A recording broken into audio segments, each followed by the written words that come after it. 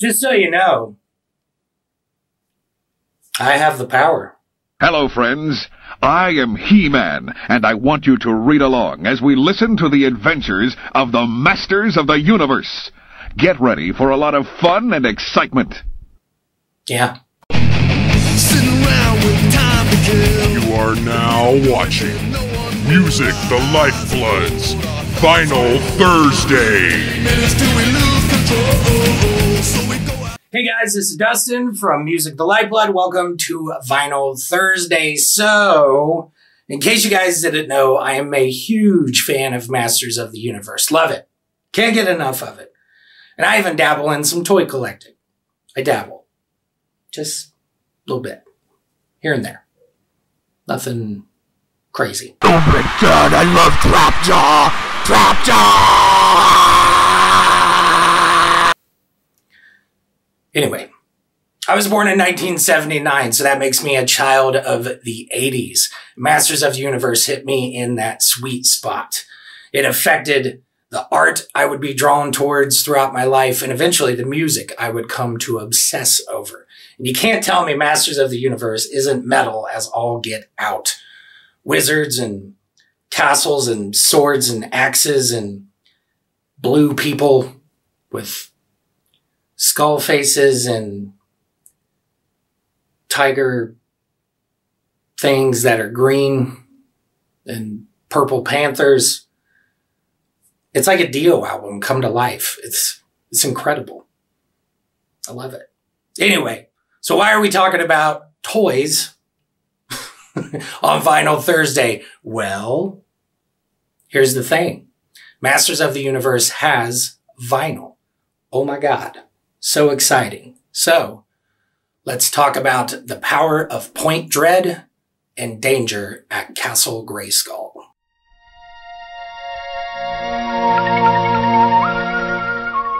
Hidden deep within his mountain lair, Skeletor grins his deadly grin. His newest plot cannot fail. He has planned for everything. Everything, that is, except the power of Point Dread. Behold, Beast Man! Soon I will be able to enter Castle Grayskull freely and learn its many secrets. But, Master, what about He-Man? He is always there to guard the castle. So most folks are familiar with the Filmation cartoon series of Masters of the Universe that ran from 1983 to 1985 and via some totally sweet meme videos on the interwebs.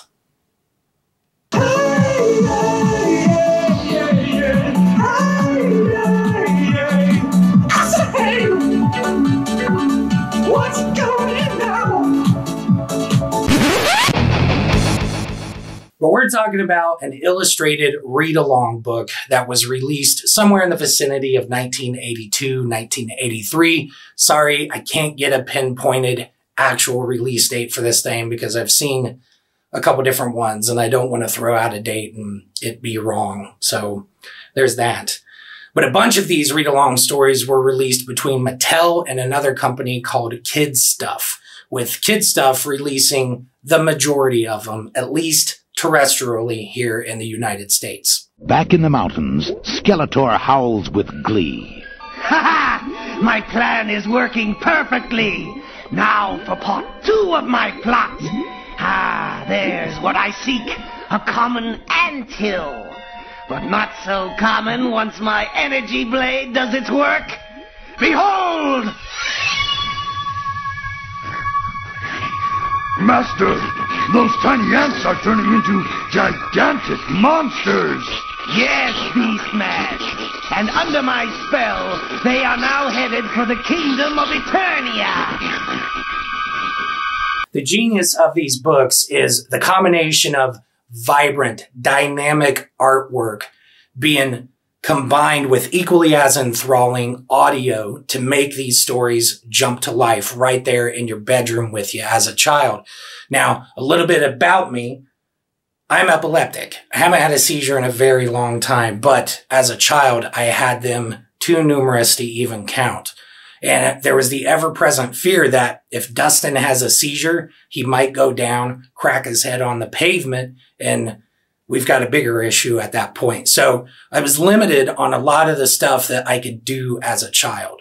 So being able to sit in my room and focus on this amazing, amazing story, to sit there and read along with it over and over and over again. That book combined with a cassette tape, or in my case, a seven inch 45 RPM piece of vinyl.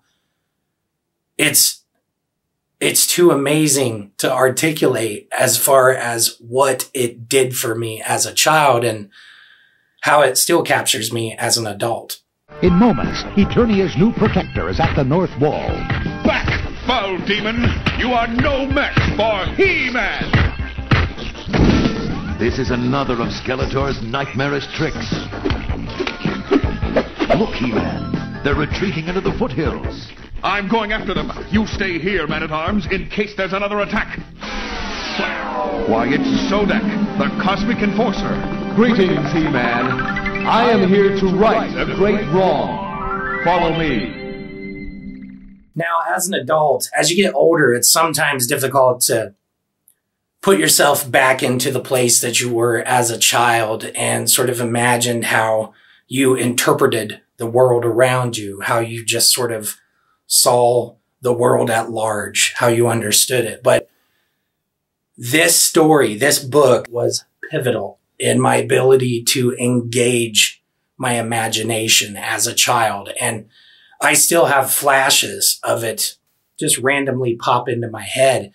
You know, when I started prepping for this episode, went back and, you know, started listening to the, the 45 again and just paying as close attention to it as I could. And it's still difficult for me to objectively separate that from how much it means to me as an adult, which came by the way of me aging from a child. So it's fascinating, fascinating for me to have, you know, went down this rabbit hole for this episode. It's just, it's amazing to me how crucial this little book and this tiny little record was in my development. And like I said, the ability for me to engage my imagination.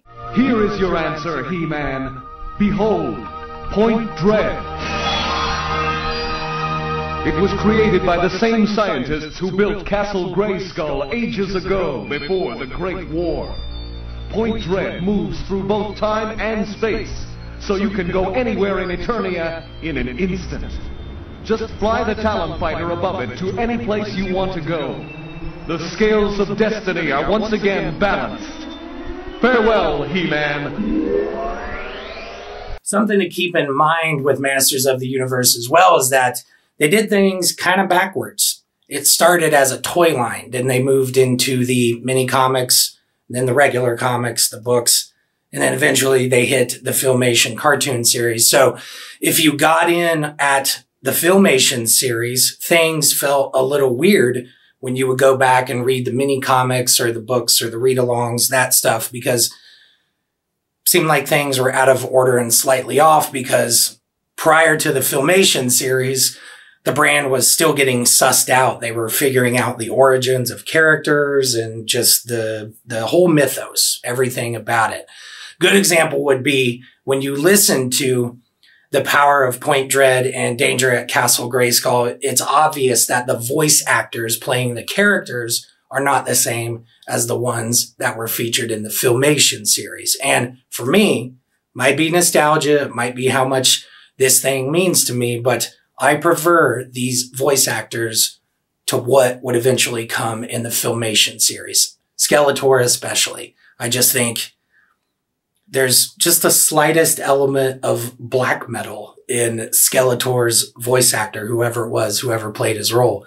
Just fascinating to me. And I know I'm saying that as a, you know, 40 something year old man that Skeletor sounds like a black metal singer. You know, it's just kind of ridiculous in that regard. But like I said, I really do prefer the voices on this as opposed to what would come in the Filmation series. Tri-Klops, your gamma vision to look around this corner. What do you see? He-Man and Man-at-Arms are standing in the watchtower, Master. Excellent! Now it's Teela's turn to help me. Go forward, my dear, and call He-Man! Now, there's only two stories. They're not that long, comic book length. They could fit both of them on two sides of a 7 inch 45 RPM. So it's not like you're sitting down to read Paradise Lost or anything like that. But between the two, as far as the visual melding with the audio production, the voice production specifically, to me, Danger at Castle Grayskull is the standout between the two. Below ground in the dungeon, Who'd thought it? The mighty He-Man locked up in a dingy cell. Quiet, fool! Ah! My, my, is that the best the great He-Man can do? Just throw water? Don't talk to me. Just leave me alone. Just for that, I'm going to stay and keep you company. Say, did I ever tell you about the time I fought off 16 giant spiders? Now, we're going to take a look at my copy here in a few, but before we do that, let's check out some noteworthy stuff surrounding the power of Point Dread and danger at Castle Grayskull. Okay, guys, I put together a ton of stuff for us to look at. Lots and lots of artwork. I thought this would be really fun for you guys because some of this artwork is going to strike the same chord that maybe some of the Derek Riggs Iron Maiden album covers would, or Ed Repka. Ed did some of the Megadeth album covers. So, really, really fun, in my opinion, especially if you're a uber metalhead the way that I am. But uh, yeah, yeah, anyway, this is going to be a lot of fun. So, just a couple things worth going over. Uh, if you're into this kind of stuff, there's a great website called heman.org. It is so informative. It's incredible, absolutely incredible. So, if it's you know, you want to dive into the art of He-Man collecting, that sort of thing, this is a great, great resource. Absolutely incredible. And then there's another one called Vaults of Grayskull. This one's just as thorough, a little bit different as far as the layout goes. It reminds me of like some old school internet stuff, like, you know, old, old web page layouts, that sort of thing, but still just as good of a resource or just as great as a resource. Is that, I don't know, is that a proper sentence? I don't know, but this thing's amazing too. So both of them, go check them out. And then worth mentioning too, um, I watch a lot of shows on YouTube, you know, people that do the kind of stuff that I do here on Vinyl Thursday and specifically pertaining to Masters of the Universe. There's a dude named Pixel Dan and he focuses primarily on toy collecting, but he has done an exhaustive amount of videos as far as the Masters of the Universe toys go. And I'll tell you right now, obviously Dan's doing something way different than what I am. Uh, he's creating stuff that is, it, it appears to be 100% kid friendly even though he's talking about adult collectibles and things like that. He doesn't he runs it, he runs a clean show and he's always so enthusiastic. So it's uh it's really fun to watch him. He's one of those guys where i could turn you know turn an episode on and just watch four or five six of them right in a row and i would be entertained the entire time. So all right there's that so lots of things to go over. Like I say, this first one is I thought it would be fun to look at some of the original mini comics that came along with the toy line as they were being released. So when you would buy a He-Man figure or a Skeletor figure, you would get a little mini comic behind the figure. If you guys go look at look up some of the the old school packaging as far as Masters of the Universe, and you can see maybe some figures that are on card uh, it's usually a blister package, clear pla- acrylic plastic, you know, covering over the figure. And behind the figure are these mini comics. And these mini comics are great. This is, as far as I know, the first one. So just keep in mind, guys, I am not a Masters of the Universe expert the way I am with some bands. You know, uh, you know, I have some knowledge on Kiss. I have some knowledge on the Misfits. Samhain, Danzig, that sort of thing. But when it comes to Masters of the Universe, I am not even going to try to be an expert. But as far as I know, I think this is the cover of the first mini comic that came with that first wave of figures. And again, here, God, look at the art. Just absolutely incredible. Amazing, amazing looking art. You know, and so I'm not going to lie, some of the proportions are a little weird, um, but I'm okay with it. I'm, I'm totally okay with it.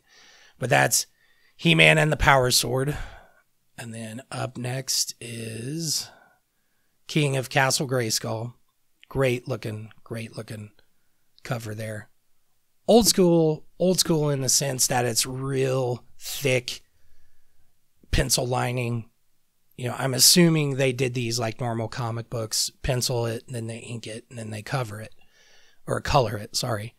And that one was done by uh, that's Alfredo Alcala as well. Um, he's the guy that drew, you know, Power of Point Dread and Danger at Castle Grayskull as well. So, dude's got skills. Uh, the one thing I would say to me, this looks like he may have drawn it smaller and this got blown up uh, in size. That could be why some of the, the lining is so bold. That might be it. You know, if, if you think about if, you know, when you, blow, if an original drawing was done on, say, an 11 by 17, and then you blow it up to like 24 by 36, you're going to lose some of the resolution. So I kind of wonder about some of these illustrations surrounding Masters of the Universe, but still absolutely amazing nonetheless. And then here's the next one. This one's The Vengeance of Skeletor, Skeletor I think. Again, Alfredo Alcala on this one too. Same sort of illustration motif. Now, as far as this actual image goes, again, guys, I'm not an expert on Masters of the Universe, but I found it interesting. You can see the little uh, right there beside the Vengeance of Skeletor at the top it says replica. Don't don't know what's going on with that. Not not sure what's up with that. Could be I don't know, maybe this is a counterfeit scan of something, but I mean you get the gist of it anyway. Still super cool looking. And then I think the next one's got Merman on it. Yep. Yeah, this is Battle in the Clouds. Again, Alfredo Alcala knocking it out of the park. You guys, if you guys don't know, it it occasionally came up on the Music the Lifeblood podcast um, every now and then between uh, Big Jake and I. Uh, but I've always been fascinated with sea creatures, um, especially you know the mythos surrounding sea monsters. You know, when I was a kid, I got interested in the Loch Ness monster, Champ from Lake Champlain, Ogopogo uh, all those. So I've always had a sort of casual interest in scary things that come from the deep. And Merman specifically always sort of scratched that itch with me when I was a kid. So I'm wondering if maybe my fascination with Merman caused me to be sort of casually interested in cryptozoology when I was when I was young and into my adulthood too. You know, I still I watch documentaries and if I see an article I read it. So you guys are learning all kinds of stuff about me today. This is this has been fun. And here I believe this is the back of some of those mini comics. I believe.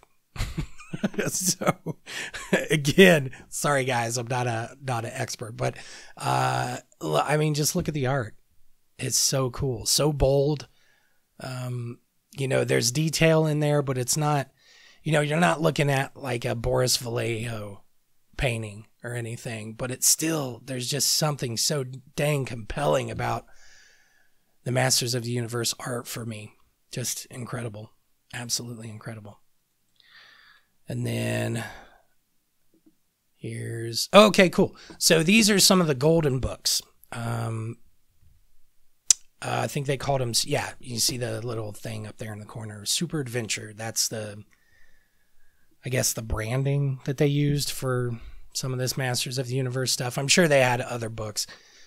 There was um when I was a kid, there were these uh, read along books that came with a seven inch in them as well for the Gremlins, and they're to me they're real similar to this. Now that could have been a golden book. I don't know. I didn't bother to look that up, but who knows? Um, but either way, they still kind of in the the same genre of stuff. But just look at that artwork. Absolutely incredible. You got Clawful back there. He's the lobster dude. There's Evil-Lyn, Beastman. Looks like Whiplash back there. Skeletor, Teela, He Man, obviously. Man at Arms. Fisto down there in the lower right corner. And I think that's Moss Man beside him. It's hard to tell. Looks like Moss Man. But really, really dynamic piece of artwork. Power from the sky. Whoa! It's absolutely incredible. And then here's this. I thought this one was really interesting. This is the Sunbird Legacy. Um, this was a, a hard a hardback. Um, you know, we're not talking like a hardback novel. You know, there's again here it's like a it's like a comic book on steroids. You know that sort of thing. But just look at that cover art. Good lord. You know, I can't. I don't know if I've mentioned it before in any episodes in the past. I'm pretty sure I have. Maybe when we were doing a, an album review, I was doing an album review, and I opened up a gatefold for an album, and I mentioned my brother being an illustrator, and you know, I really thought about it surrounding this episode. Um, that's what my brother does for a living. He's a he's a graphic artist. Um, and he kills it. He's absolutely amazing, and he draws in a way that is uh, in the vein of a of a guy named Bernie Wrightson. He did this uh, illustrated version of Frankenstein, and it is so jaw droppingly astounding as far as his illustration ability, his his his nuance as far as communicating emotion in his illustrations and things like that. So as my brother was going to college and he was fine tuning his illustration skills, there was a lot of really great books, illustrations around the house before my brother moved out and you know left on his own. He's 7 years older than me, so he had moved out and I became a teenager and I was there until I moved out. And the the thing I always think about is how drawn to the Dragonlance artwork my brother was when I was young, and he still is. I remember flipping through these these illustrated books that he had, and specifically seeing uh, they're called the Draconians. They're a race of anthropomorphized dragons, I guess. That's the best way to describe it. And I remember this this illustration of these these draconians sort of standing at the edge of I think it was uh, maybe at the edge of of small forest or something. And I remember snow in it. I haven't looked at the illustration for many, many, many years, but it looked like they were plotting and scheming, you know, at the edge of the woods on what their next move is going to be. And I always, I always think of that drawing when I, when I see these Masters of the Universe illustrations. It elicits the same response for me. And this one, the Sunbird Legacy, this hardback, man, look at that thing just look at how much gradient this the, the this illustration has as far as the the dynamics of it. You, you know, got Man at Arms and Beastman going at it in the background. Man at Arms trying to keep Beastman away from He Man and Skeletor. You know, Beastman's probably coming to to defend Skeletor, and you know, Skeletor's obviously in a position of uh, He Man's obviously got the upper hand on him, you know, by the positioning of Skeletor. You can see that he's got Skeletor balancing on his rear foot. His, you know, the, uh, what do you, the ball of your feet? Is that your heel? I don't know what it is, but anyway, He Man's got the advantage in this in this illustration. And then look at what's going on in the background there. You got uh, Teela. Looks like she's in the Sky was that the Sky Raider? I can't I can't remember the name of it, but you know, blasting somebody off the top of Castle Grayskull. You know, I'm guessing it, it's looking like a Wind Raider. I think that's what it is. Wind Raider. Sorry, I blanked on it, guys. Uh, blasting somebody off the top of Grayskull. And if Teela's shooting at Castle Grayskull, that probably means Skeletor and Beastman had gotten into it, or they're in the middle of you know, trying to take over Castle Grayskull. That's sort of the reoccurring theme when it comes to the uh, the relationship between Skeletor and He-Man. It's you know, It's uh it's not a healthy one for sure. uh okay, what's next? Let's see what we got here. Oh, okay, cool. So, um I think I mentioned it uh I think I mentioned it at the beginning of the show. If I didn't, um I did a lot of takes for this episode. I was trying to get stuff, you know, really really right, I guess. But here's uh the golden books and I have some of these. Uh, not all of them, but I have some of them. So again, here's Super Adventure, uh, a golden book. This I don't believe this is one of the read along ones because there's a read along version of the Sword of Skeletor and there's a non read along version of it. So I think, don't, again, don't quote me on that. All I know is that the one I have is that, the one that's pictured. So great dynamic illustration, obviously. Looks absolutely killer. And then here's the Thief of Castle Grayskull. There's Stratos trying to catch He Man before he plummets to the ground. So it's great. I think this is Caverns of Fear. Yep, this is Caverns of Fear. Is awesome illustration of Trapjaw back there on the left. You know, he's got that robot arm and that metal jaw.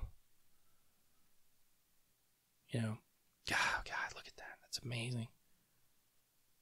Just, you know, being a kid, imagine what this you know would elicit the the sort of excitement the the emotion that this would draw out of a a kid you know i can remember i can remember i'm feeling it right now as i'm looking at him just incredible that's one of my favorite stories too it's awesome god amazing here's a good one this one's super super a lot of action going on in this one the trap he Man, it looks like he broke off the door and he's shoving Skeletor through the archway. Look at Skeletor's face. Just look at the detail on that. Beastman too. Beastman's face back there. Look at He-Man's hair sort of moving in the mo in the motion of it. Just astoundingly great. Mm, there's yeah, Mask of Evil. This one's great. I got I bought this not too long ago. Found it on eBay for super cheap. Great looking. Again, Merman over here. I love Merman. I love spooky things that come out of the water. I was thinking about that the other day. Time Trouble. Again, here, a lot of action. A lot of movement happening. Skeletor in the background. Oh man. And the Rock Warriors. Oh, this one's great. Again here, action. Look at this horde of rock people just coming after He-Man. You know, Skeletor gazing on in the background, delighted in the awful situation that he's probably putting He-Man in. Sorry about the background noise, guys. It's the middle of the day and I got somebody hot rodding a motorcycle up and down the street. Uh, Secret of the Dragon's Egg. This one here. Ah, man, that's amazing. So the the neat thing about this, so obviously, um, you know, if you're if you're in the Masters of the Universe, maybe you like Tolkien, Lord of the Rings, The Hobbit, and that dragon back here. What's that dragon remind you of? Ding, ding, ding, ding, ding. The ring wraiths, the Nazgul, the dragons that they rode. Forget what the name of them are. Sorry, I'm not up to up to snuff on my Lord of the Rings trivia, but yeah, look at that thing. Skeletor parting the flames with his with his staff, his uh, ram staff, goat, I don't know, whatever you want to call it. A lot of action again. All right, so a couple more here. Let's see this one. What we got? Oh, Meteor Monsters. Yeah, this one's awesome too. So I think that's Kobra Khan in the background. I think that's his name. I love the green on this one. Just looks great. You could see that being like a like an Angel Witch cover, an album cover. You know, something just incredible. Then the magic mirrors. There's Ram Man, Fisto, He Man trapped in the mirror. We got Skeletor and Evil Lyn right there at the front. Same illustrator, obviously Norm. Dude is on par with Boris Vallejo and Frank Frazetta, in my opinion. You know, Valle- Boris Vallejo has that really polished style. Frank Frazetta's tends to be a bit more rough and tumble, but I sometimes I sometimes wonder if I I probably gravitate more towards Frank Frazetta's style because of this Masters of the Universe style of illustration. The Alfred Alcala, obviously the guy that did these Norm, his his method of illustrating feels a bit more rough and sort of shabby chic. So Frazetta, if you look at all those old Conan album or comic book covers, I was going to say album covers, those Conan um, uh, comic covers, things like that. You know, Frank Frazetta did a lot with Conan. Just, dude is absolutely amazing. And here's the last one I grabbed. I thought this one was great. A hero need, you know, Orko. Ah, Orko's in danger. You know, He Man and Battle Cat coming to the rescue. The orange, sort of yellow hue that that has. Really, really neat. So there's those. And then as far as these read along ones, be it a 7 inch 45 or a cassette tape, like I said, there's a bunch of these, bunch, bunch, bunch, bunch of these. So the Power of the Evil Horde. Um, I think this one was a read along. Um, I came across it twice. Uh, looks, you know, different anime, different style on that one. Um, I don't know if I like that as much as some of the other ones we were just looking at, but still looks great. And then, so here's a good look at the one uh, we're going to look at here in a minute. This is the PowerPoint Dread and Danger at Castle Grayskull, obviously. So this is the copy that I have. This is this is mine. This is the one I got. This one's amazing, but worth noting. The idea for this story existed prior to that version. There was a Power of Point Dread released prior to that. Here's the cover of it. You know, it feels it feels similar, you know, almost same, but obviously the one we're going to look at, there's a bit more detailing in it. This feels more like old school, maybe 70s and early 80s comic book art. But this story, this version of the story, is so much more rough and tumble than the one we're going to look at here in a minute. Here's the first page. You know, Skeletor's looks like he's meditating. Perhaps I still cannot breach the defenses of Castle Grayskull. uh, it's I I mean it's it's cool. But like I said, this story is way more rough and tumble than the one we're gonna look at. So there's a Talon fighter, you know, they're they're doing that, you know, developing the connection to Castle Grayskull. Skeletor is going to use it for bad stuff. You know, and then just hijinks and shenanigans ensue. Just, you know, still as dynamic of artwork, but done, like I said, in that sort of 70s, 80s Marvel and DC comic book style. Maybe a little bit of 60s there too. I think everybody everybody thinks of Bob Kane and Bill Finger as far as you know when it comes to DC, and I'm a huge DC fan. Aquaman and Nightwing, those are my guys.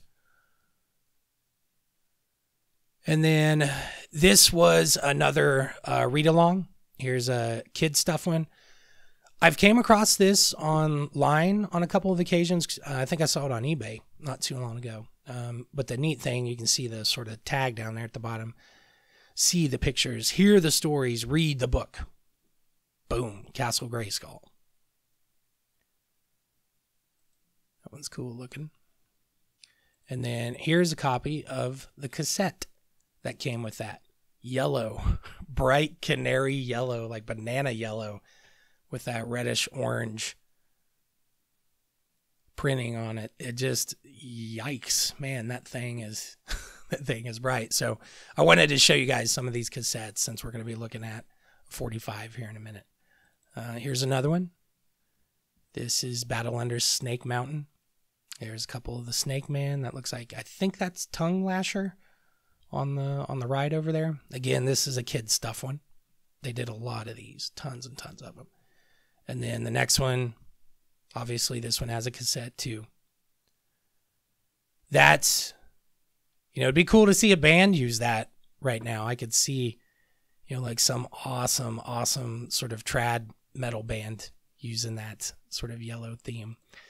And then here's the read along version of Caverns of Fear. Uh, I don't have this one. I have just the regular one. And I noticed there's a little bit of a size difference between these read along ones versus versus the the regular version, whatever. I'll pull one out here in a minute when I uh, when we take a look at my copy of uh, Power of Point Dread, but you can see the size difference. It's I don't know, maybe scaled down. If I had to guess, maybe twenty percent, maybe 15, 20 percent size difference, but still great nonetheless. And then we got a black cassette for this one. So I thought I thought it was interesting thought it was interesting. I don't know when clear cassettes came about. I don't know when that started happening, but it's interesting that that one's black and they went with yellow with the other ones. And then here's The Thief of Castle Grayskull. Looked at that other one again, kid stuff right here. And then there goes that motorcycle again. I don't know if you guys can hear it. And then this one was cool, white. White cassette with red printing on it. You know, if you're into collecting cassettes, it's always cool to come across a, a colored one. These are neat. You know, there might there might be some sort of an advantage to uh, maybe printing uh, color wise as far as these cassettes to to maybe you know at the factory that they would have been assembled. Maybe colored ones. Maybe they use the colored ones specifically for children's books and kids related stuff. There might be something to that. I have to dig some digging on it, or do some digging on it. Dig some digging. Oh. All right, and there's yeah, that's all of them. So let's take one more look at this original PowerPoint Dread versus the regular version, I guess, or the one I'm going to open up here in a few so you guys can take a look at it. You can you know, just sort of check out the difference between the two of them. We'll do a side by side comparison. Like I said, just a little more detail in the read along one. But this original one, like I said, it's rough. it's I, I, get well comparatively to uh, just He Man and the Masters of the Universe overall. Um, you know, we're not we're not talking about like the opening scene of you know the Normandy scene of Saving Private Ryan. We're not talking about that kind of stuff, but this uh the difference between the two it's because I read through this original one and whew, big difference. But cool little uh, A/B comparison there. All right. Let's check this thing out. Okay, guys, before we open up my copy of The Power of Point Dread Danger at Castle Grayskull, just worth mentioning this thing is amazing.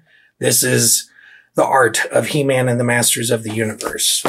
Can't remember when this came out. It's been within like the last five or six years, I think. But uh, great book. Uh, Dark Horse Comics released it. If you're a Dark Horse fan, uh, it's by a dude or dudes. Oh, there's two of them, Tim and Steve Seeley. Maybe those are brothers. I don't know. But anyway, uh, this is an awesome resource if you're super into Masters of the Universe artwork. Um, just tons and tons of stuff in here. They go through kind of the, the genesis of how everything began. Lots of awesome sketches and pieces of artwork as far as leading into what would eventually become the line of toys that we all knew. You know, it's a great shot of a bunch of the figures. Totally cool. There's Scareglow. He's uber hard to find now. But yeah, really, really great stuff. This thing definitely worth it. I I remember I got it on sale. I just can't remember how much it was. It was well under $50. I remember that. Could be cheaper. Who knows? But there's some really, really good stuff in here. Just give you a quick little flip through so you guys can see it. All kinds of stuff. Lots of art from the mini comics, the movie, sort of art, drawing mock ups of random stuff. There's quite a bit in here about the 2000X reboot. I think that was 2002 when they rebooted the series and, you know, really, really good stuff. But anyway, check this thing out. If you guys, if you find it, it's uh, definitely worth the buy. All right. So, ba-da-da-da-da. there we go. The power of Point Dread and danger at Castle Grayskull. I know I wanted to um, uh, grab another for like size comparison. So real quick, just so you can see size wise, here's the read along for Caverns of Fear. There's the the record in there, and then I know I mentioned this earlier. There's the Super Adventure Golden Book version of it. So, like I said, size difference, obviously. My guess is just from a packaging standpoint to be able to get the the 45 RPM 7 inch in there to fit that sort of thing. So either way, still, I mean, killer artwork in these are, are great. You know, this one's awesome. He-Man's riding Battle Cat through the Eternia countryside and here's something going on in this well in this cave down there. And yeah. And then Merman, blah, Merman's on the attack. So anyway, like I mentioned earlier, there's just a ton of these and they're great. Absolutely love them. Sounded like Tony the Tiger there for a minute. Okay. Here's my copy. Sadly, this isn't the one I had when I was a kid. I wish I still had it, but not going to happen. So that Alfredo Alcala artwork, just killer, killer on here. Amazing. Two stories with record. It's awesome. And there's a back cover. So, like I said, uh, Masters of the Universe did things sort of backwards. They started as a toy line, and then the comics books, and then eventually the cartoon series would come after that. And the the the entire line, as far as advertising and things like that, they're just pushing the hell out of action figures. So everything on the back here is, you know, they that's illustrations of the action figures, which really, really, really neat looking. It's Tri-Klops, Merman, Trapjaws, Kiltor, Beastman. I'm a big fan of the baddies. But anyway, I don't want to go through the whole book, but just incredible. I love this illustration of He Man sitting there by a stump with his turntable, listening to his own book, which I think is amazing. There's a big there's a big splash page for the opening of it. Beastman and Skeletor checking out what's going on around Castle Grayskull. And I'll do a quick flip through so you guys can see stuff. Man, oh man, did this thing mean so much to me as a kid. Oh, here's a great example. Yeah. This is King Randor. Look how much different he looks in the book versus what he became in uh, in the cartoon. Right there, perfect example. You know, we find out King Randor is, you know, he ends up being uh, He Man's dad, I believe, right? I think that's what it is. Spoiler. But yeah, just amazing, just amazing. This scene right here, I remember as a kid so vividly. I remember specifically the look on that guard's face, you know, yelling that sound the alarm, giant monsters are attacking. Just, I know I'm geeking out about this. You guys can hear Haggis. She's doing something in the other room. Zodac shows up. And then bam. I think I missed a couple pages. Yeah, I did. There's the Talon Fighter. There you go. So all very, very cool. And then here's Danger at Castle Grayskull. This is the one I like uh, between the two. The one I, I really like just a little bit more than the other. Still cool. Talking about the Attak Trak, and it's kind of got a mind of its own, and and then there's Zor. I think that's this is prior to them making Zor the prince, uh, the princesses. Was it princess? The the sorceress? No, the sorceress. The sorceress of Castle Grayskull. Her and Zor are, you know, it's kind of like Dracula turning into a bat. Uh, but that's prior to that, I believe, before they established that. So, like I said, some of the the canon, as far as the canon history for things, it's kind of wonky in some of this earlier stuff prior to the filmation cartoon. So it makes it super weird. You know, here's one of my favorite scenes, you know, here with He-Man throws a bucket of water on Trapjaw and that sort of eventually incapacitates Trapjaw. He can't, uh, can't move his mouth because it rusted shut. That's how He-Man gets out. There's a big old battle. Then there you go. There's that. So here's the back. Neat thing about this booklet is that it's it acts as its own sleeve for the 45, which cool. I'm guessing that had something to do with the decision as far as the size of the book. I'm guessing that's why they didn't go with, you know, you need to make sure that, you know, if you're putting a, sorry, we'll get this dust off, that if you're going to put, you know, 45 in there, you want it to be secure. It's not going to roll around, that sort of thing. So I sometimes wonder if that was the, the motivator for the change in size of the actual book. Sorry, I'm getting this dust off. Drives me nuts. Okay, there you go. Cool looking. That label's neat too. Again, here, the illustrations are, they're du- you know, duplicating the actual look of the figures themselves, which again, that's just good marketing. You get the, you get the kids used to seeing, uh, what the actual toys are going to be like that way. So super cool.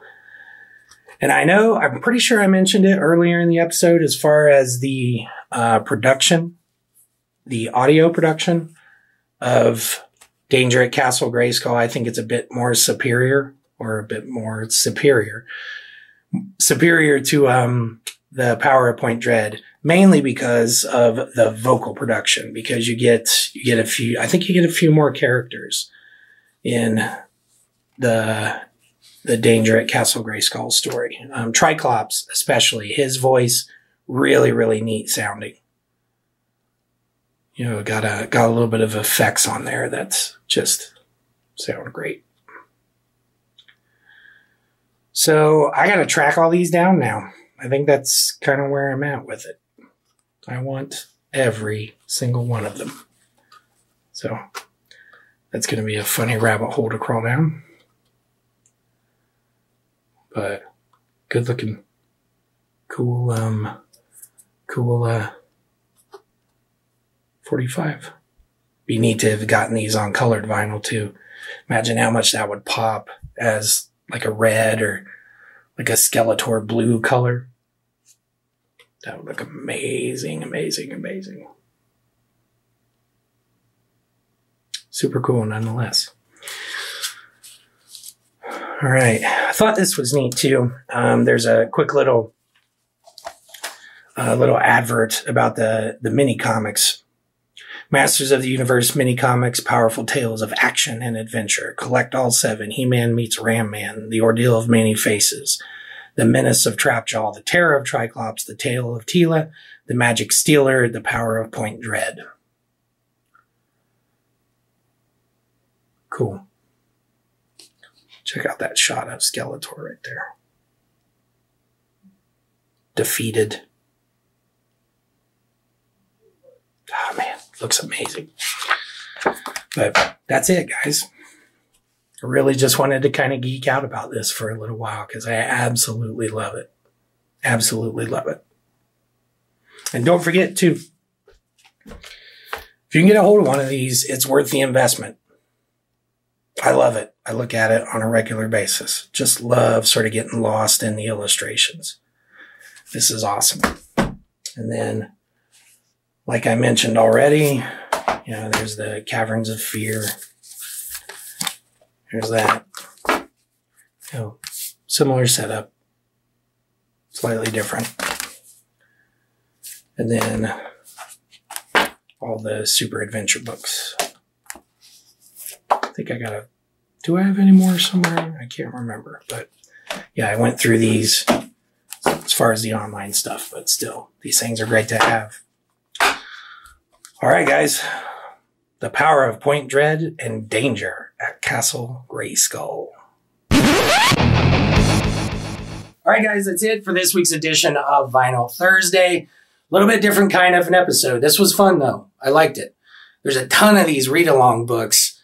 A lot of them came out with cassettes as well. So I might do another one of these down the road if I come across one and I think it's going to be totally amazing. So yeah, yeah, maybe we'll re- revisit this at some point. So there's that. All right. Do the subscribe thing, notification bells, social media, other Music the Lifeblood shows, conversations from the pit, back episodes of the Music the Lifeblood podcast, blah, blah, blah, blah, blah, blah, blah, blah, blah, blah.